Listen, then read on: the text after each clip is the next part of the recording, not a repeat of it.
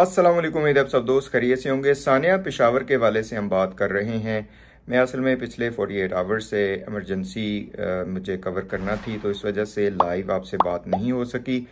थोड़ा सा जो मुझे टाइम मिलता है, ज़ाहिर है दर्द है दिल में और कब्र है ये। और दुख का इतना ज़्यादा एहसास है कि जिसको अल्फाज में बयान करना मुश्किल है। तो इस हवाले से डिफरेंट जो ग्रोह हैं उनके बारे में हम बात कर रहे हैं कि एक तो नासबियों का चेहरा सामने आ रहा है, शोहदा की खून की बरकत से ये हो रहा है और उसके बाद फिर शियों में भी जो छुपी हुई काली भेड़ें हैं वो भी सामने आ रही हैं जो फिरका वारियत फैला रहे हैं लोग।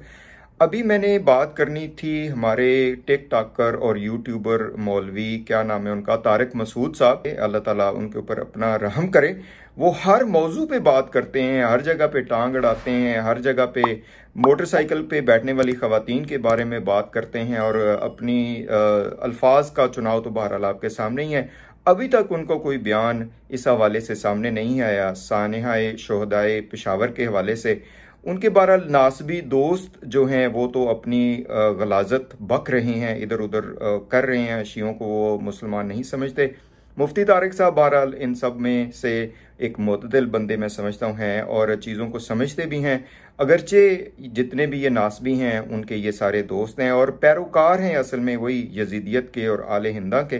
तो अभी तक उनकी तरफ़ से कोई रिस्पांस नहीं आया, पता नहीं गायब हो गए कहीं। आपको कहीं मिले मुफ्ती साहब तो उन तक हमारा पैगाम पहुंचाइएगा कि कोई तो चलो बंदा बयान दे देता है। इस पर बहरहाल हैरानगी भी नहीं है, क्योंकि मुफ्ती साहब खुद उस सोच के और उस मकतब के पैरोकार हैं, यजीदियत के मकतब के कि ज़ाहिर है उनके नज़दीक, जैसे कि एक खबीस ने कहा कि ये जो शिया मुसलमान नहीं है और इन शहदा के लिए दुआ भी नहीं करनी चाहिए।